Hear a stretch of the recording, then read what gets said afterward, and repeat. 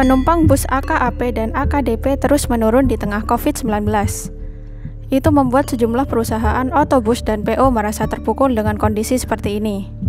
Operasional Karina Amal Hanafi menyampaikan, menurunnya penumpang membuat penghasilan berkurangnya sekitar 50%.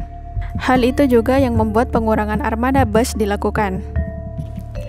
Diketahui sebelum COVID-19 merebak di Indonesia, jumlah bus AKAP dan AKDP dengan kedatangan kendaraan sebanyak 2.707, kedatangan penumpang sebanyak 22.223, keberangkatan kendaraan sebanyak 2.693, dan keberangkatan penumpang sebanyak 23.528. Ya sakit harus kita rasakan, tapi kami hanya berharap supaya ya taruh kata istilah-istilah yang sekarang dipakai pandemi lah. Pandemi sudah berlalu ya.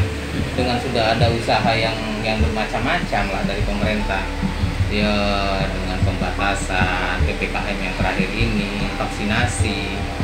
Saya optimis deh ini bakal berlalu dari negeri kita. Memang sangat terpukul dengan kondisi seperti ini pak. Hmm. 50 persen pak ya. Ya 50 persenan lah kira-kira